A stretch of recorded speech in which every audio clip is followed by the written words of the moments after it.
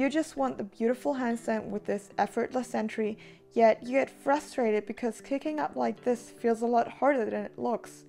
Then watch this video to level up your entry game.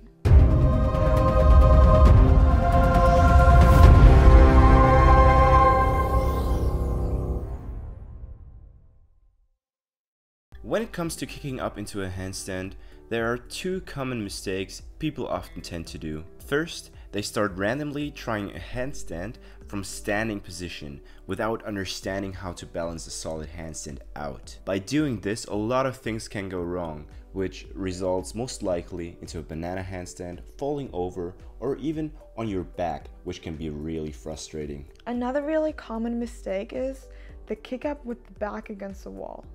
This often results in a banana handstand or slight back bend. It becomes hard to get into a straight handstand from there, especially when you're new to handstanding.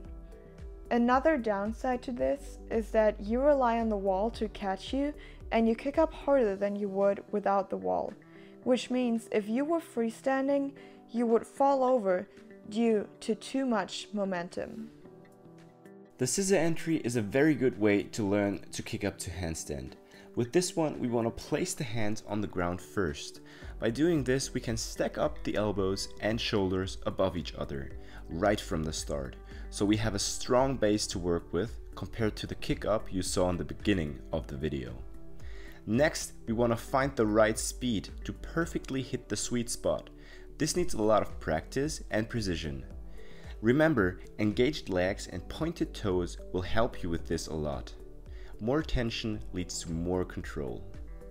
As you get good with one leg, try to alternate between right and left foot being the leading leg to really master the kick up to its best. As this should only be a kick up drill, try not to balance your handstand out. Just find the right speed and fall back to the ground. Failing is very good here. Remember, it helps you to know when it's too much or when it's too less speed.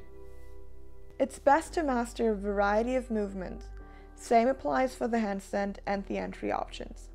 The tuck entry is another great way to build confidence and balance in the kick up phase. When training these tuck kicks, you want to focus on the momentum and power you put into the kick up.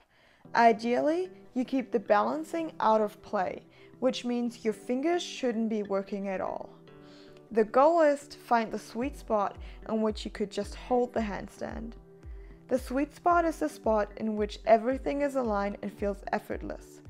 It takes multiple tries to find this spot regularly.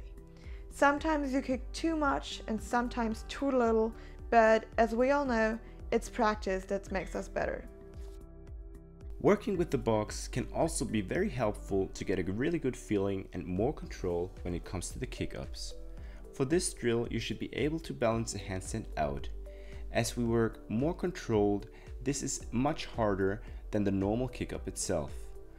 Bring one leg right above your stacked shoulders and carefully kick off with the other leg from the box, maintaining tension everywhere.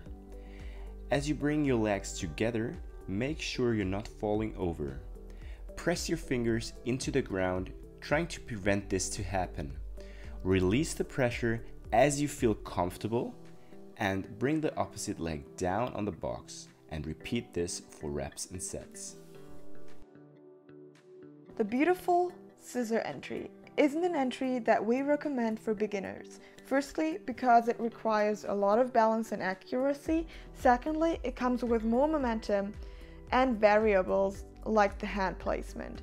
Once you feel comfortable in your handstand and with the other entries, go on and incorporate this one into your practice. But until then, you can save yourself time and frustration by just leaving them aside. The best way to nail this entry is to focus on where the hand should go and already starting with slightly elevated shoulders. When the first leg kicks off the ground, the second leg follows immediately with the glutes engaged. Again, you probably need some time to figure out how much momentum you need to find the sweet spot. If you enjoyed this video, then please leave a thumbs up and subscribe to our channel to stay updated on mobility, strength and skill tutorials. For more information, visit our website, the link is in the description below.